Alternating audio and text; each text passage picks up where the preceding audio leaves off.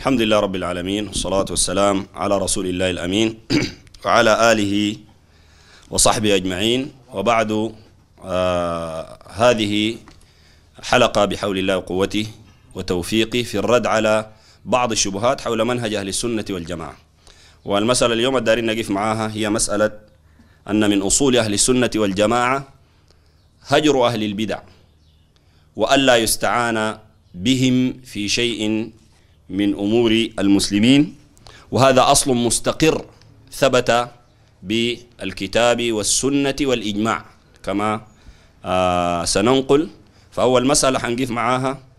حنذكر كلام العلماء والسلف في ذلك.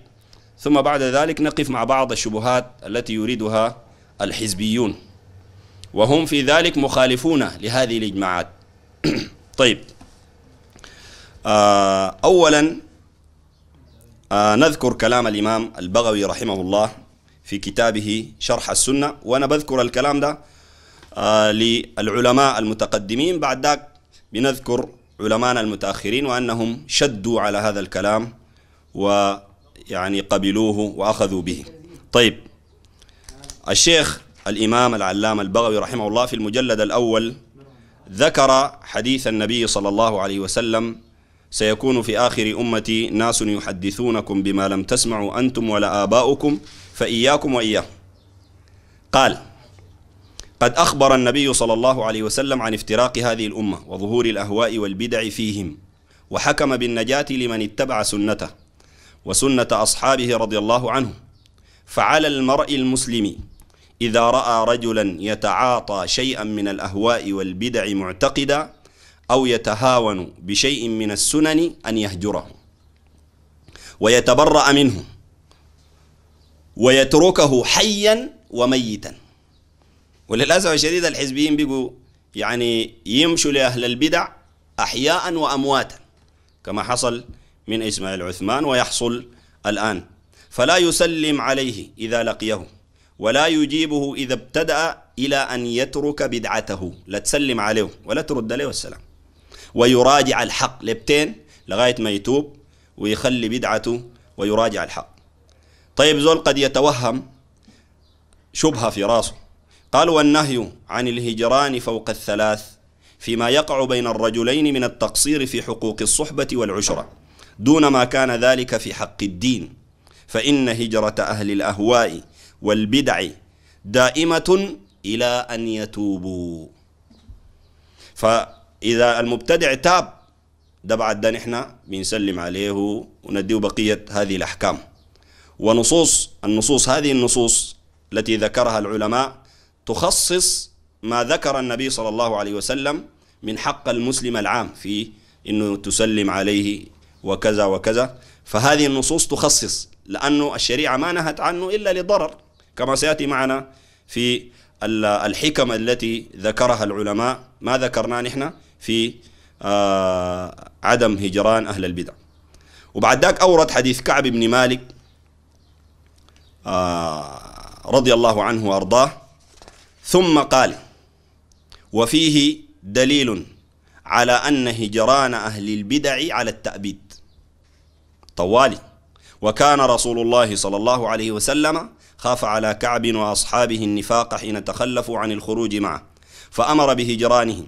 إلى أن أنزل الله توبتهم وعرف رسول الله صلى الله عليه وسلم براءتهم وقد مضت الصحابة والتابعون وأتباعهم وعلماء السنة على هذا مجمعين متفقين على معاداة أهل البدعة ومهاجرتهم ده إجماع. تجي تقول لي هواري في غاعة مامون بحيري؟ الهواري بيقدر يخرم إجماع ولا بيقدر يعقد إجماع؟ عرفت؟ فده نقل إجماع الصحابة والتابعين وأتباع التابعين وعلماء السنة. عرفت؟ طيب ثم ذكر بعض الآثار. منها قال ابن عمر في أهل القدر أخبرهم أني بريء منهم وأنهم مني براء. وقال أبو قلابة لا تجالسوا أصحاب الأهواء أو قال أصحاب الخصومات فإني لا آمن أن يغمسوكم في ضلالتهم ويلبسوا عليكم بعض ما تعرفون. زي ما حنعرف من الواقع ما حصل لبعض دعاة أنصار السنة. وقال رجل من أهل البدع لأيوب السختياني يا أبا بكر أسألك عن كلمة. فولى وهو يقول بيده ولا نصف كلمة. وقال سفيان الثوري من سمع بدعة فلا يحكيها لجلسائه لا يلقيها في قلوبهم. ده كلام البغوي. وحيجيك كلام علماء اعتمدوا على كلام الإمام البغوي وأخذوا به. طيب. برضو عندنا الإمام مسلم رحمه الله في الصحيح أيضا في قصة كعب بن مالك. إنه أهل البدع ديل ما تقعد معهم ولا تجالسهم فضلا عن إنك تتعاون معهم أو تعاونهم على شيء من أمور المسلمين. قال في حديث كعب بن مالك إنه النبي عليه الصلاة والسلام لما نهى الصحابة إنه يسلم عليه وأمرهم أن يهجروه ذهب حتى تسور حائط أبي قتادة وهو ابن عمه رضي الله عنهم أجمعين فسلم عليه فلم يرد عليه السلام. قال النووي رحمه الله قال في قوله فسلمت عليه فوالله ما رد علي السلام لعموم النهي عن كلامهم. وفيه أنه لا يسلم على المبتدعة ونحوهم.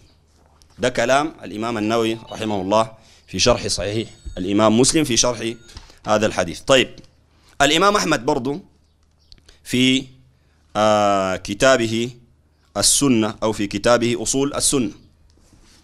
ذكر لك أصول أهل السنة والجماعة. بعد ذاك الماء داير يأخذ كلام الأئمة ويقعد يجيب في الشبهات وكذا وكذا وكذا.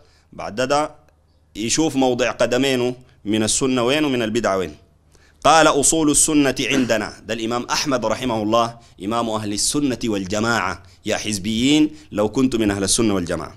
قال أصول السنة عندنا التمسك بما كان عليه أصحاب رسول الله صلى الله عليه وسلم والاقتداء بهم وترك البدع وكل بدعة فهي ضلالة وترك الخصومات والجلوس مع أصحاب الأهواء.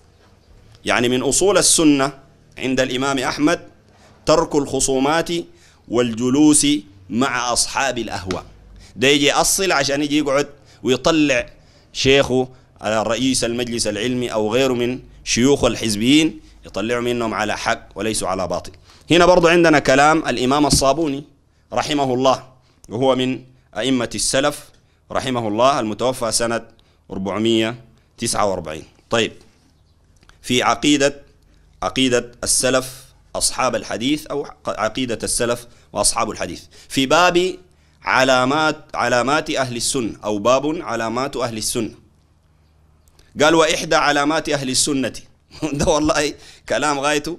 إلا إنسان يبقى ما داير الحق لكن كلام واضح أشد الوضوح. قال وإحدى علامات أهل السنة حبهم لأئمة السنة وعلمائها وأنصارها وأوليائها. وبغضهم لأئمة البدع. ده من علامات شنو؟ أهل السنة.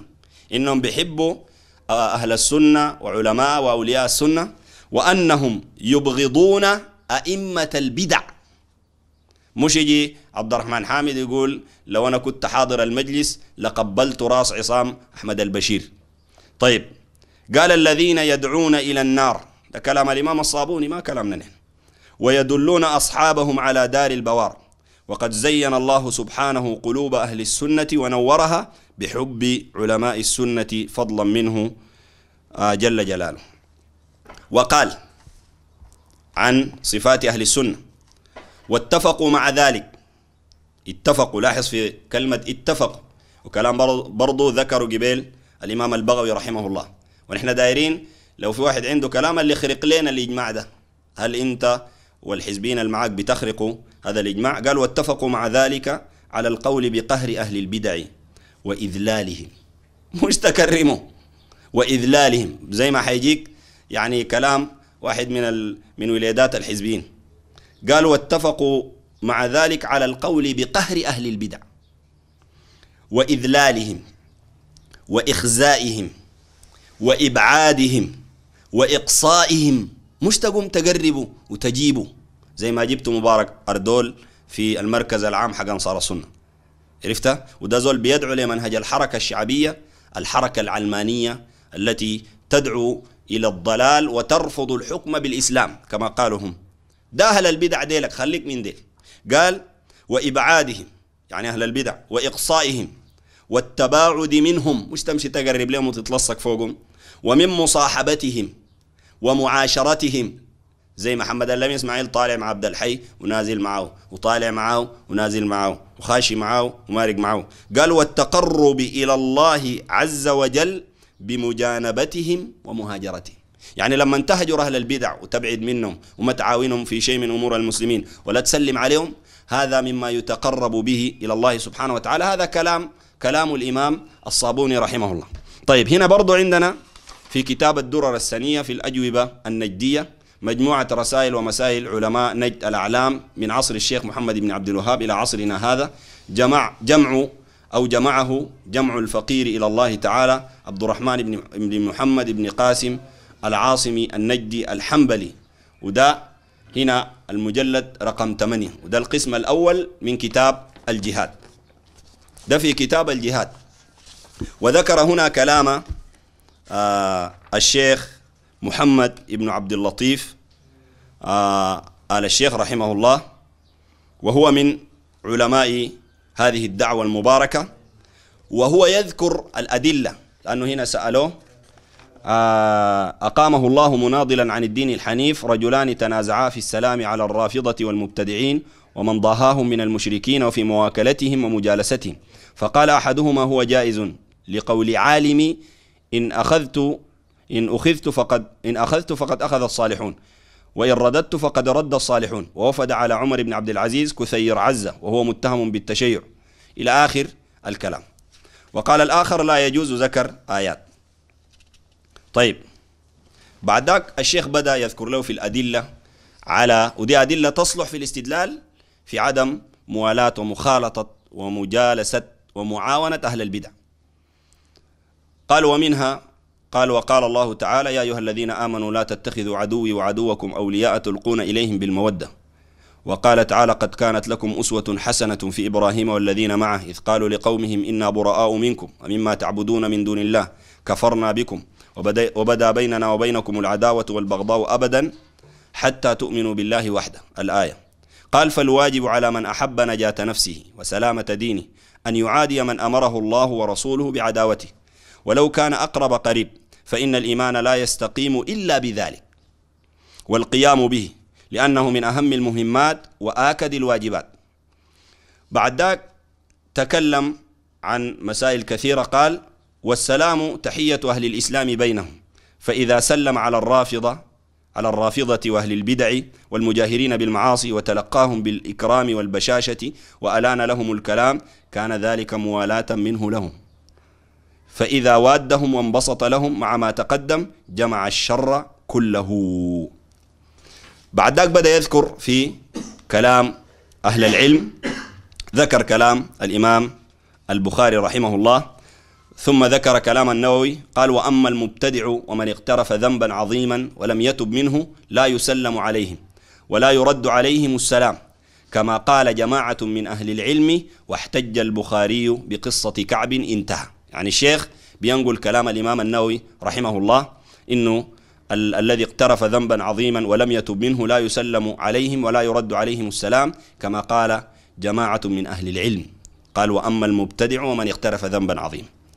قال فانظر يا طالب الحق إلى ما قاله البخاري واستدل به وإلى قول صاحب الفتح. بعد ذلك ذكر يعني كلام آه رحمهم الله جميعا ثم ذكر كلام الإمام البغوي. قال وقال البغوي رحمه الله في كتاب السنة الكلام ذكرناه قبل شوية. وأما هجر أهل المعاصي وأهل الريب والبدع في الدين فيشرع إلى أن تزول الريبة عن حالهم وتظهر وتظهر علامات توبتهم وأماراتها. يعني أنت بتهجر المبتدع لغاية ما تظهر شنو؟ التوبة حقته والعلامة حقت هذه التوبة.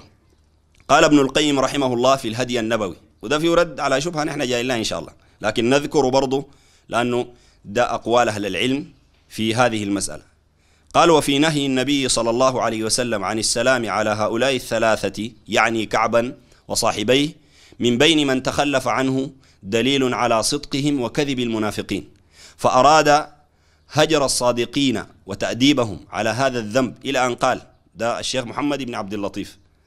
قال وفيه دليل أيضا على هجران الإمام والعالم والمطاع لمن فعل ما يستوجب العتب ويكون هجرانه دواء له. إلى أن قال وفي إشارة الناس للنبط الذي يقول من يدل على كعب بن مالك دون نطقهم له تحقيق لمقصود الهجر وإلا لو قالوا له صريحا كعب بن مالك لم يكن ذلك سلاما ولا يكونون به مخالفين للنهي لكن لفرط تحريهم وتمسكهم بالأمر إذ لم يذكروه بصريح اسمه. وقد يقال إن في الحديث عنه بحضرته وهو يسمع نوع مكالمة لا سيما إذا جعل ذلك ذريعة إلى المقصود بالسلام وهي ذريعة قريبة فالمنع من ذلك من باب منع الحيل وسد الذرائع وهذا أحسن وأفقه انتهى كلامه رحمه الله تعالى. فانظر إلى قوله ده تعليق الشيخ. وقد يقال إن في الحديث عنه بحضرته وهو يسمع نوع مكالمة إلى آخر فإذا كان في ذكر في ذكره باسمه نوع مكالمة فكيف بمن ابتدأ المشرك والعاصي والمبتدع بالسلام وأظهر له الإكرام وأكثر عنه الجدال والخصام؟ والله كأنه العلماء ديل بيتكلموا في الحزبين ديل. وقال شيخ الإسلام لسه الشيخ رحمه الله بينقل في أقوال أهل العلم. قال وقال شيخ الإسلام ابن تيمية رحمه الله وقد سئل عن الهجر المشروع ومن يجب هجره أو يجوز هجره. قال في أثناء كلامه.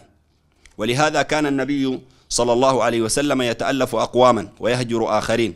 وقد يكون المؤلفة قلوبهم أشر حالا من المهجورين. كما أن الثلاثة الذين خلفوا كانوا خيرا من المؤلفة قلوبهم قلوبهم. لكن أولئك كانوا سادة مطاعين في عشائرهم وكانت المصلحة الدينية في تأليف في تأليفهم. وهؤلاء كانوا مؤمنين وفي هجرهم عز للدين وتطهير لهم من ذنوبهم انتهى كلامه رحمه الله. فانظر أيها المنصف بعين الإنصاف واحذر التعصب والاعتساف إلى ما قاله شيخ الإسلام من أن في هجرهم عزا للدين هذا إذا كانوا مسلمين. لكنهم أصحاب معاص واقتراف لبعض الأوزار. فيجب هجرهم واعتزالهم حتى يقلعوا. وأما المشرك والمبتدع ديل العلماء بيفهموا كلام العلماء. ما يجيني واحد زي ما قالوا من من حزبي ما تم حزبي ذاته عرفت؟ يجي يجي داير اول كلام العلماء ويفسروا على هواه قال وأما المشرك والمبتدع فلا نزاع في في هجرهما ولا خلاف فيه إلا عند من قل حظه ونصيبه من العلم الموروث عن صفوة الرسل صلوات الله وسلامه عليه. ها تمشي وين يا حزبي؟ تمشي وين؟ طيب. وقال أيضا رحمه الله ومن كان مبتدعا ظاهر البدعة وجب الإنكار عليه ومن الإنكار المشروع أن يهجر حتى يتوب ومن الهجر امتناع أهل الدين من الصلاة عليه لينزجر من يتشبه بطريقته ويدعو إليها. وقد أمر بمثل هذا وقد أمر بمثل هذا مالك بن أنس. أقول لك مالك بن أنس؟ تقول لي زعيط. مالك بن أنس وأحمد بن حنبل وغيرهما من الأئمة انتهى. وذكر تاني كلام كثير من العلماء حتى قال فتأمل رحمك الله ما ذكره هذا الإمام من الأحاديث والآثار الدالة على وجوب هجر أهل المعاصي وأن ذلك هو هديه وسنته فمن أعرض عنهما ونبذهما وراء ظهره فقد خاب سعيه وضل عمله فلا نجاة للخلق ولا سعادة ولا كفاية ولا هداية إلا باتباع محمد صلى الله عليه وسلم واتباع ما جاء به ورفض ما خالفه وهجر من نكب عن سنته وإن كان الحبيب المواتية فالحكم لله العلي الكبير. وبعد ذلك ذكر كلام لشيخ الإسلام محمد بن عبد الوهاب رحمه الله.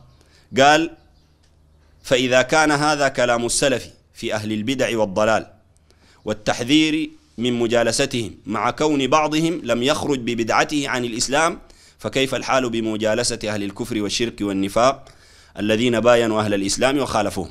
فهو ذكر أن الشيخ محمد بن عبد الوهاب يرى أنه يهجر أهل البدع وإما خرجوا من الإسلام. لكن هو ذكر مسألة ثانية مسألة مجالسة أهل الكفر والشرك. وبرضه دي أنصار السنة عملوا قعدوا مع ود الكباشي اللي بيقول شيخي بيقول أو, أو أبوه الشيخ بيقول لشيء كن فيكون